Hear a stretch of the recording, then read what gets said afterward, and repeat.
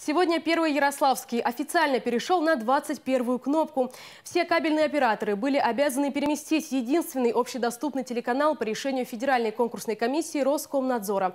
Так что теперь во всех телевизорах региона мы находимся сразу после крупных общероссийских собратьев на 21-й кнопке вашего пульта.